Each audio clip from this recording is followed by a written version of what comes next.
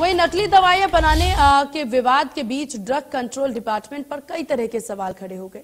ऐसे मामलों में विभाग किस तरह की कार्रवाई करता है? कैसे नकली दवाइयों के माफिया को कंट्रोल किया जाता है? इस बारे में फरीदाबाद के ड्रग कंट्रोल करण गुदारा ने न्यूज़ इंडिया ने, माफ़ कीजिएगा, इंडिया न्यूज़ ने खास बातचीत की। देखिए। दवाइयों को लेकर कई जगह कार्रवाई की जा रही है। हिमाचल में भी इसी तरह की कार्रवाई देखने को मिली थी और इससे पहले हरियाणा के सोनीपत में भी नकली दवाइयों का मामला सामने आया था। हमारे साथ में हालाँकि किस तरह से नकली दवाई बनती हैं, कहाँ बनाई जाती हैं, इन तमाम चीज़ों को जानने के लिए ड्रग कंट्रोलर हैं फरीदाबाद के करण गोदारा साहब। उनसे बात कर लेते हैं, सर।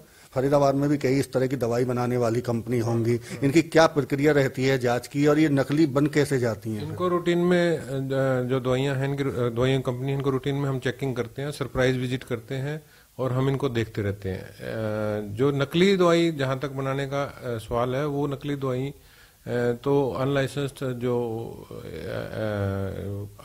दूसरे एलिमेंट हैं नकली बनाने वाले, वो अलग ही जगह छुप के ही बनाते हैं। यहाँ पर जो manufacturing unit license manufacturing unit है ये मोर और लेस ये काम नहीं करते हैं। अच्छा मोस्टली जिनके पास लाइसेंस होता है आप ये कह रहे हैं कि वो ऐसा काम नहीं करते हैं। मोस्टली नहीं करते। और अगर करते भी हैं तो उसके लिए आपकी जाँच प्रक्रिया क्या रहती है? हम उनकी रूटीन में चेकिंग करते हैं सैंपलिंग उनसे करते रहते हैं रूटीन में। अच्छा सैंपल लेके आप उसके जाँच कराते हैं? जाँच कराते हैं सैंपल सैंपल लेते रहते हैं। अगर फरीदाबाद की बात करें सर तो कितनी ऐसी यूनिट हैं अपने यहाँ जिनकी आपको जा, जानकारी है और जिन्हें चेक कर रहे हैं आप? सात यूनिट हैं जो हमारे यहाँ पर एलोपैथिक दवाइयाँ बनाती है अंग्रेज़ी दवाइयाँ जो बनाती है वो सात यूनिट है। क्या ऐसा संभव है कि आयुर्वेदिक जो दवाइयाँ बनाने वाली कंपनी है और उनके साथ में कुछ मेल जोल बढ़ाकर ऐसा काम किया जा सकता हो? आयुर्वेदिक वाले तो आयुर्वेदिक वाले ही बताएँगे वही चेक कर पाएँगे। उनको भी आयुर्वेदिक में तो कहीं ऐसा काम नहीं हो रहा है उनको वो भी चेकिंग करते हैं लेकिन वो कितनी करते हैं वो तो वही बता पाएँगे। एक सवाल और भी है सर। आप कह रहे हैं कि रूटीन में चेकिंग करते हैं और सैंपल भी भेजते हैं। अगर फरीदाबाद की बात करें तो कभी ऐसा कोई वक्त आया हो कि सैंपल गलत आए हों उनके फेल आए हों? सैम्पलिंग हाँ सैम्पलिंग पीछे भी रूटीन में भी हमारे ड्रग कंट्रोल ऑफिसर्स भी लेते रहते हैं। फ़ील्ड में पीछे कोरोना के दौरान भी रेमडेसिविर नकली एक यहाँ पे हमने पकड़ा था जिसका कोर्ट में केस डाल दिया है हमने। अच्छा कोर्ट में रेमडेसिविर का मामला सामने आया था लेकिन एक साथ इसके साथ साथ नकली दवाइयों को ये एक बात हुई।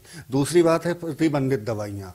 सरकार जो है प्रतिबंधित कर देती है बेचना बेच नहीं सकते। तो ऐसे भी कोई मामले होते हैं प्रतिबंधित दवाइयाँ तो आ, कोई भी नहीं बना सकता लेकिन जो आप प्रतिबंधित कह रहे हो जो जो मिस यूज़ होती हैं नशे की दवाइयाँ होती हैं उनके लिए रूटीन में चेकिंग हम करते हैं। अगर वो ड्रग एक्ट की अवेलना में कोई रखी हुई किसी ने मिलती है तो हम उस पर कार्रवाई करते हैं। ये मेडिकल स्टोरों की आप बात कर रहे हैं जहाँ चेकिंग होती है। हाँ हमारे drug control officer medical stores को रूटीन में रेगुलर चेक करते हैं।